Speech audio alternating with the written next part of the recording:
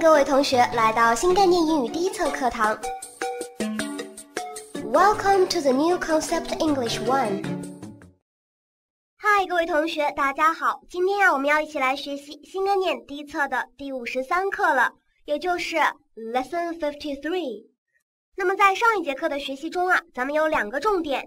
第一个是在词汇部分教给了大家一些跟考试有关系的表达，而第二个重点呢是这样三个词的区别，分别是 enough、to 和 very。那么讲到这样三个单词的区别的时候，老师教给了大家两个句型，分别是 Something is easy enough for somebody to do。Something is easy enough for somebody to do。对某人而言，做某一件事情非常的简单。而第二个句型呢是 Something is too difficult for somebody to do. Something is too difficult for somebody to do. 对某人而言啊，做某一件事情简直就是太难了。那么简单的回顾了一下咱们上节课的内容，接下来我们一起来看一下，在今天这一课我们要学习的重点。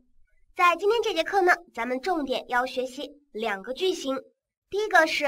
want somebody to do something. Want somebody to do something，想让某人做某事。而第二个句型呢是 tell somebody to do something。tell somebody to do something，告诉某人做某事。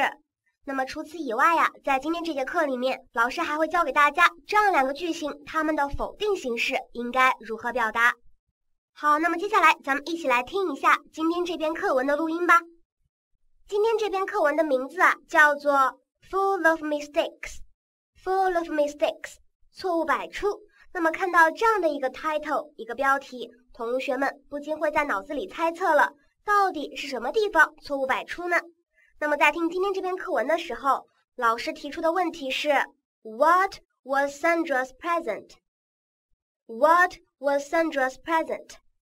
给桑德拉的礼物到底是什么东西？同学们可以仔细留意一下。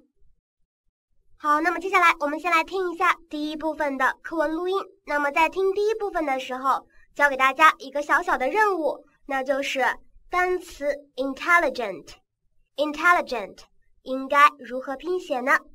How to spell intelligent? Where's Sandra, Bob? I want her. Do you want to speak to her? Yes, I do. I want her to come to my office. Tell her to come at once. Did you want to see me? Ah, yes, Sandra. How do you spell intelligent? Can you tell me? I N T E L L I G E N T。怎么样？intelligent 这样一个单词，同学们记下来它是怎么写的吗？好，接下来我们一起来听一下第二部分的课文录音。在听第二部分的时候，就可以思考这样一个问题了： 这个老板他到底送给 Sandra 了一个什么样的礼物呢？That's right. You've typed it with only one L. This letter's full of mistakes. I want you to type it again. Yes, I will do that. I'm sorry about that. And here's a little present for you. What is it?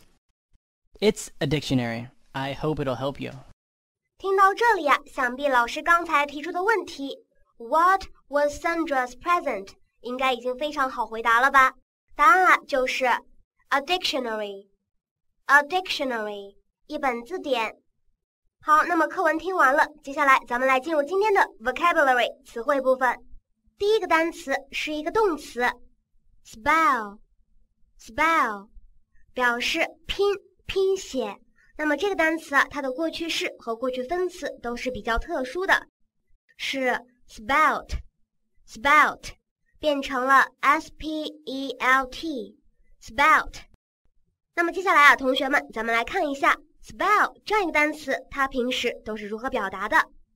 比如说了，我问别人苹果 apple 这样一个单词应该如何拼写，我可以问他。How to spell the word apple? How to spell the word apple?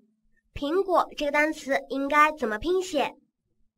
那别人回答说，A P P l e apple，就是说苹果这样一个英语单词是 a p p l e 这样写出来的，这样拼写的。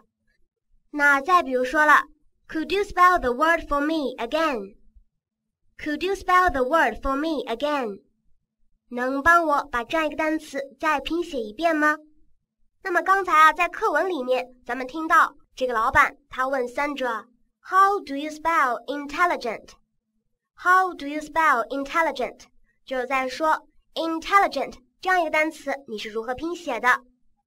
那么说起来，intelligent 也是咱们需要学习的一个单词，它呀是一个形容词，表示聪明的、有智慧的。经常用来形容人，比方说了，She is intelligent, but she is very modest.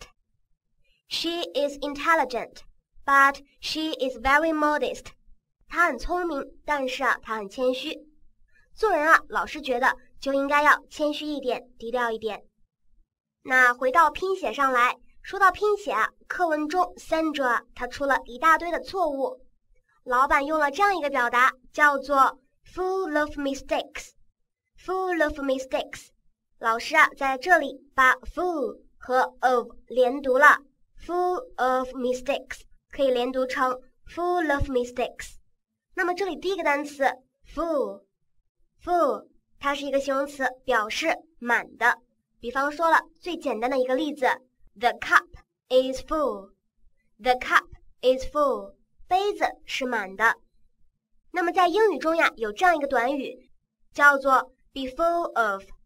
be full of 这个主语呀，经常是容器。比方说了，The bottle is full of milk。The bottle is full of milk。这个瓶子里面啊，装满了牛奶。那再比如说了，像咱们今天课文中这样一种情况，这封信里面全是错误，用的是这样一句话。This letter is full of mistakes. This letter is full of mistakes. 那这里出现了一个单词，叫做 mistake。mistake 名词，错误。比方说了，I've made a terrible mistake. I've made a terrible mistake. 我犯了一个严重的错误。那我们说知错就改就是好孩子。那我们犯了错需要改正。改正这样一个意思啊，需要用 correct，correct 这样一个单词来表达。比方说了，我们来看这样两个例子。第一个，改正错误，correct the mistakes，correct the mistakes。那第二个例子呢是，The teacher told me to correct the mistakes in my homework。The teacher told me to correct the mistakes in my homework。老师让我把家庭作业里面的错误都改过来，改正掉。下一个单词，present，present，名词，礼物。那么在英语中呀，我们也可以使用 gift，gift 来表达相同的含义。再接着来看下一个单词，dictionary Dictionary，名词，字典或者词典。那说到这样一个单词，老师在这里呀为同学们推荐两本字典。第一本是 Oxford Dictionary，Oxford Dictionary 牛津词典，而第二本啊叫做 Longman Dictionary，Longman Dictionary 朗文词典。好，来看下一个单词 carry，carry 动词搬。或者携带。比方说了，We are carrying a lot of books. We are carrying a lot of books. 我们正在搬很多很多的书。好，接下来来看一下最后一个单词，依旧是一个动词，keep。keep 动词，保存、保留的含义。那么这个单词啊，不得不提到。它的过去式和过去分词都是不规则变化，变成了 kept，kept。好，接下来咱们就 keep 这个单词它的使用来讲几个例子。首先啊，同学们可以来看一下第一句话：People wear clothes to keep warm in winter. People wear clothes to keep warm in winter. 人们啊，在冬天穿上衣服，为了保暖。这里 keep 后面呀加上了一个形容词 warm，所以啊 keep warm 它表示保持温暖、保留温度这样一个含义。那第二个例子呢？Keep the distance. Keep the distance. 保持距离。我们经常啊在小的时候被爸爸妈妈说到。跟陌生人不要说话，要保持一定的距离。那第三个啊，就是比较特殊的用法了。在英语中，我们可以用 keep the promise，keep the promise 来表示遵守诺言。练习时间到了，大家动动手吧。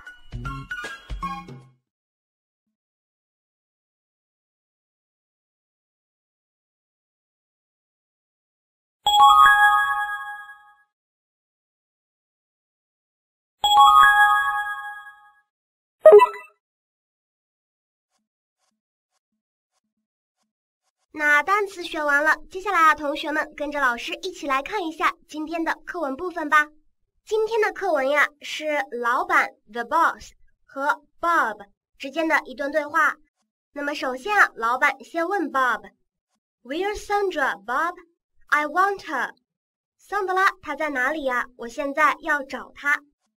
那么这里的 I want her，I want her 可以理解成想要找某一个人。Bob 回答说：“Do you want to speak to her? Do you want to speak to her?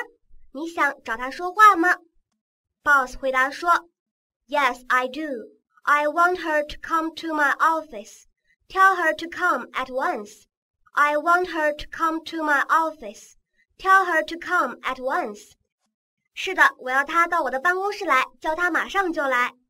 那么说到这样一个动词，want，想要、需要。 这样一个单词，同学们应该不陌生吧？在咱们以前的课程中，我们学过 “Do you want something？” 你想要某样东西吗？比方说了，“Do you want a cup of coffee？”“Do you want a cup of coffee？” 你想来杯咖啡吗？你想要喝一杯咖啡吗？那么在刚才这样一段对话里面呀，出来了一个新的句型，叫做 “Do you want to do something？” Do you want to do something？你想要做某事吗？Do you want to speak to her？Do you want to speak to her？你想要和她说话吗？这里啊，其实是有一个语法现象的，在这样一个句子里面，不定式 to do 它是做了一个宾语来理解的。那么什么叫做不定式啊？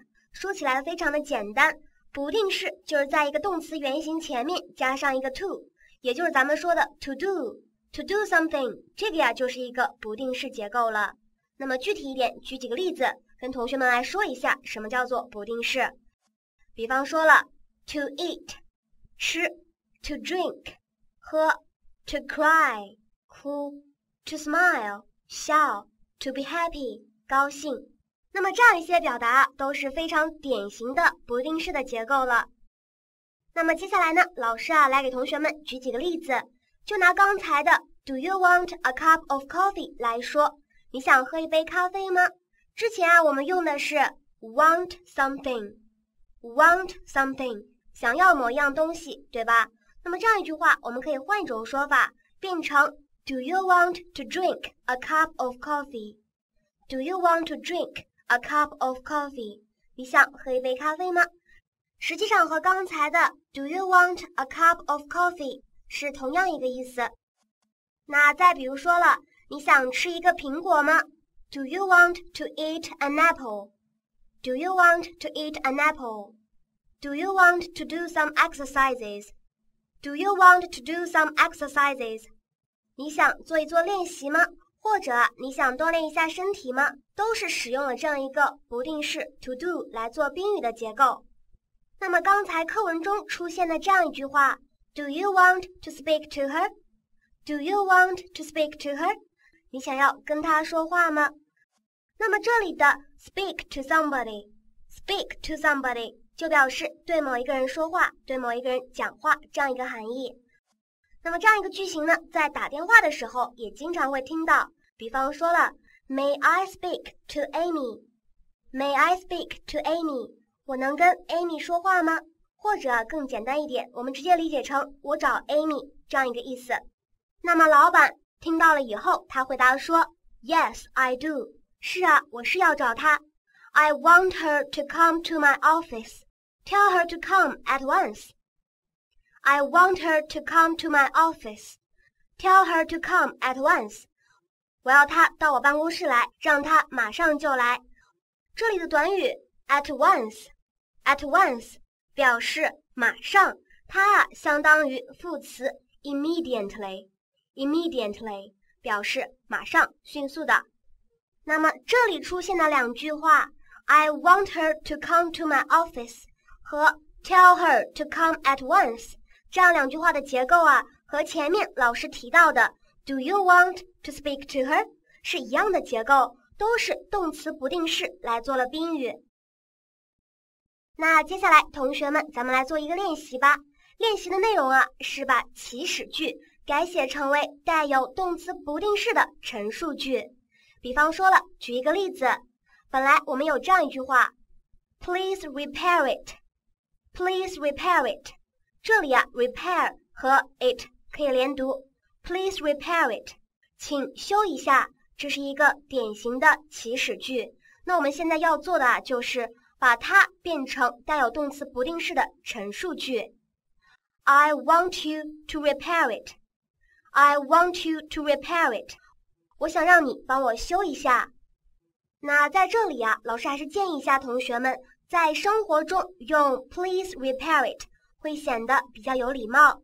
因为啊，别人不是你想让他们做什么，他们就应该做什么的。咱们呀，要表现的客气一点。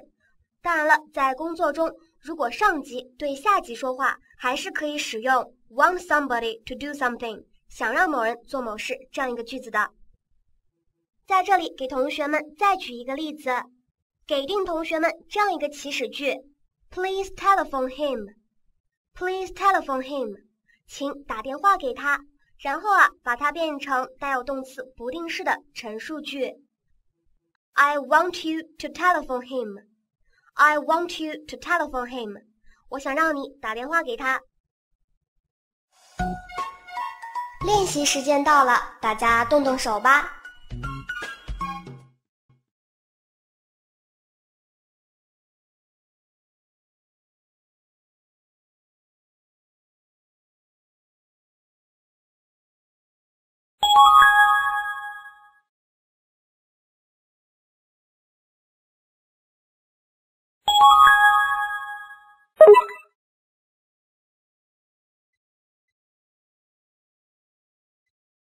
好，那么接下来啊，练习做完了，同学们，咱们一起来回过头来看课文。在这里啊，Sandra 听到 Bob 的话以后呢，过来了。他说道：“Did you want to see me? Did you want to see me? 您找我？”那老板 The boss 回答说：“啊，Yes, Sandra。啊，是啊，桑德拉，我找你。”然后呢，老板接着问道：“How do you spell intelligent? Can you tell me?” How do you spell intelligent? Can you tell me? 你是怎么拼写 intelligent 这样一个单词的？你能告诉我吗？那 Sandra 她回答说，I N T E L L I G E N T。老板说，That's right，对的，是这样拼写的。然后呢，他又接着说道，You've typed it with only one L. This letter's full of mistakes. I want you to type it again.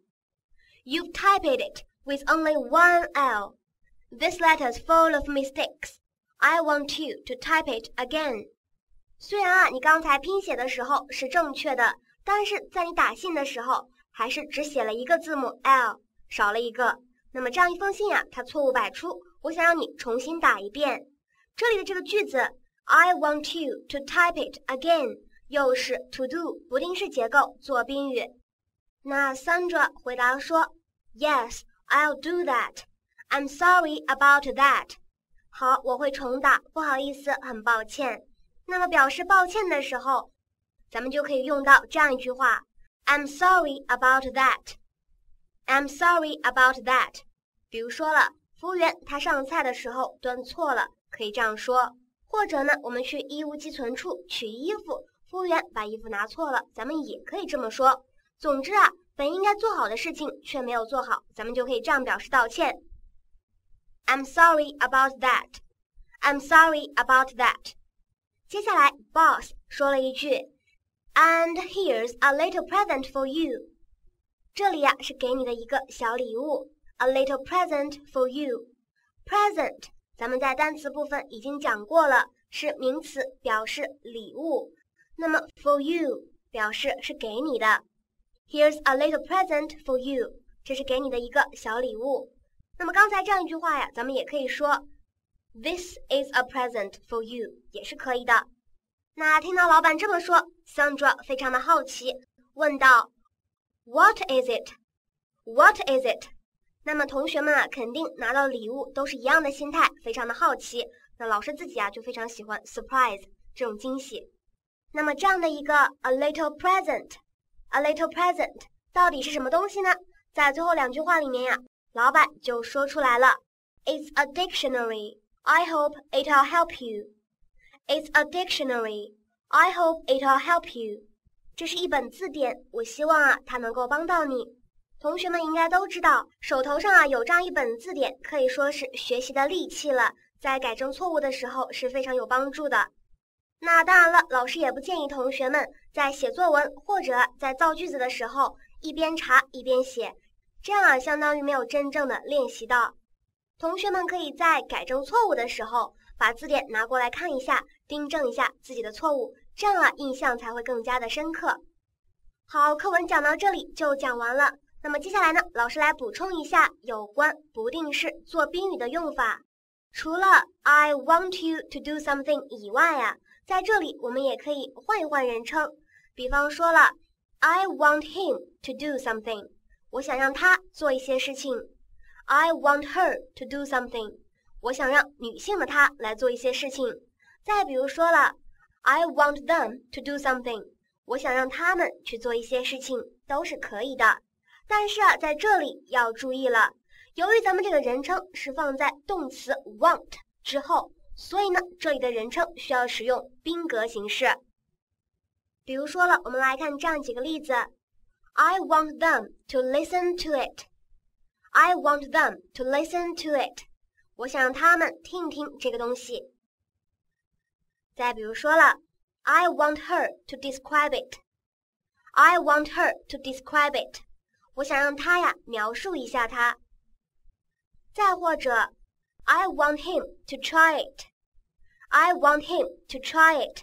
我想让他试试看。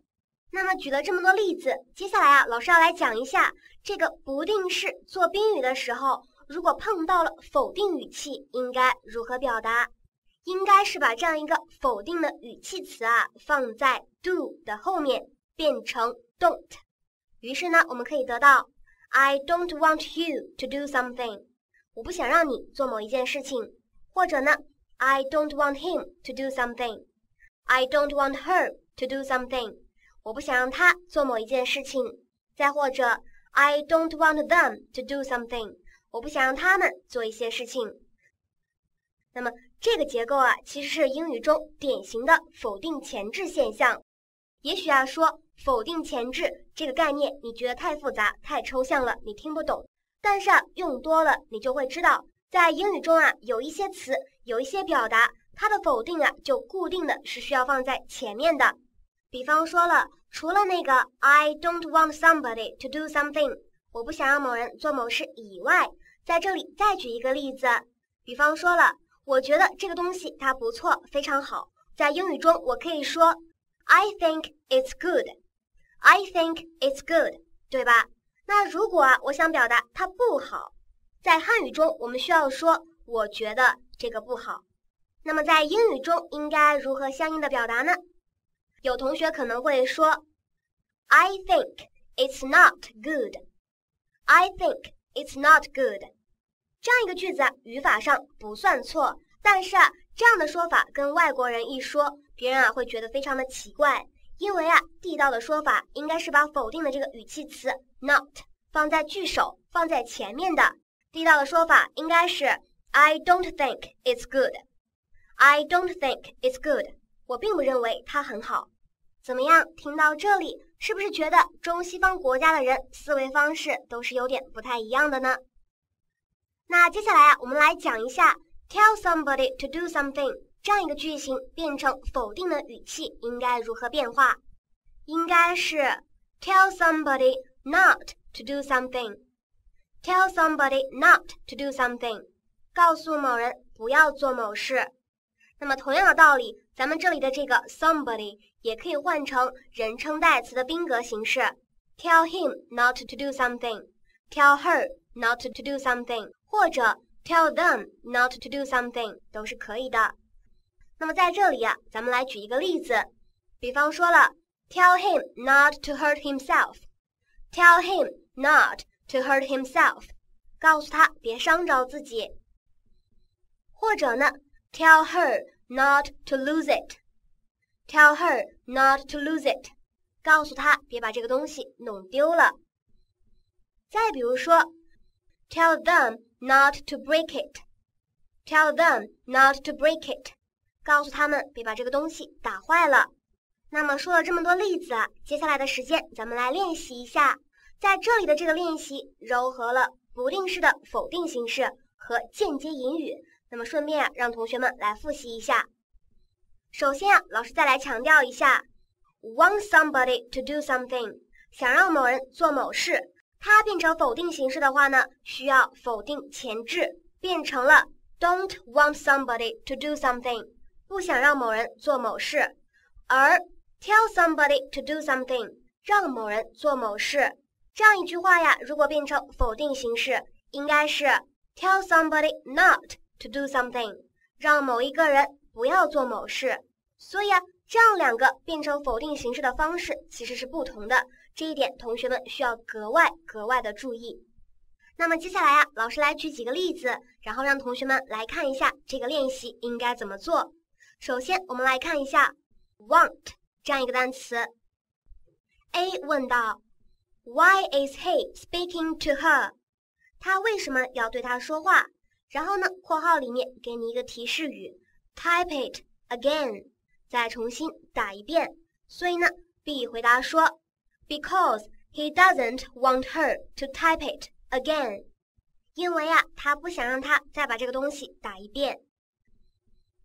那么再比如说了，我们换一个短语，A 问道，Why is she speaking to them？他为什么要跟他们说话？那么提示的短语是。Miss it, miss it，错过。B 回答说，Because she doesn't want them to miss it again，因为啊，她不想让他们再一次错过它了。那么接下来啊，我们一起来看一下动词 tell tell，看一下动词 tell 是应该如何来练习。给大家一个句子，是一个祈使句，Don't type it again。Don't type it again。然后呢，括号里给你的提示语是 he、her。然后呀，咱们来变换一下这样一个句子，变成了 He is telling her not to type it again. He is telling her not to type it again. 他正在告诉他不要再把这个东西打一遍了。那接下来咱们再来看一个例子，Don't hurt yourself. Don't hurt yourself. 别伤了你自己。然后呢，给出的提示语是 she, him。所以呀，我们来这样变化一下：She is telling him not to hurt himself. She is telling him not to hurt himself. 她正在告诉他不要伤到自己。这里呀，要注意 yourself 应该相应的变成 himself。练习时间到了，大家动动手吧。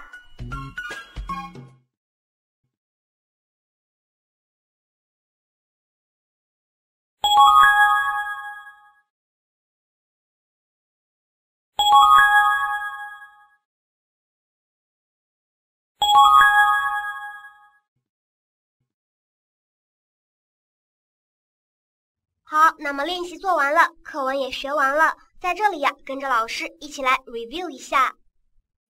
在今天这节课里面啊，咱们重点是围绕两个句型来展开的。